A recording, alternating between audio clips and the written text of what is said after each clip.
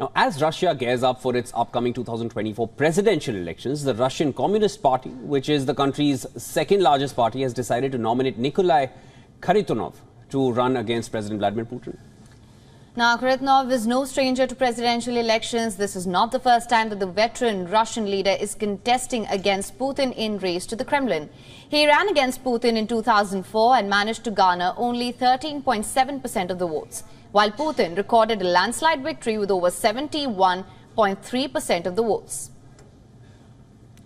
Kharitonov's candidacy has been supported by an overwhelming majority of party members in a secret ballot However, the ballot only had Kharitonov his name, leaving party members with no other options. The decision was taken hours after Russia's Central Election Commission barred independent candidate Yekaterina Duntsova from contesting the election. Now, according to the commission, there were many violations in the papers she had submitted in support of her bid.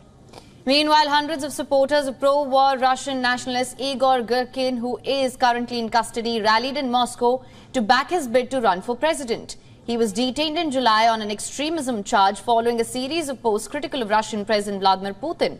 In August, Girkin had announced on social media that he wanted to run for president in March elections.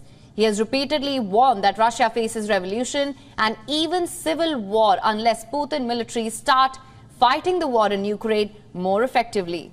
Russia has cracked down on nationalist critics who have called for much tougher approach to fighting the war in Ukraine. Putin has held continuous positions as the president or the prime minister since 1999 in Russia and this makes him the longest serving Russian or Soviet leader since Joseph Stalin.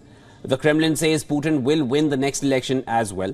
This is because he enjoys genuine support across society with opinion poll ratings of about 80%.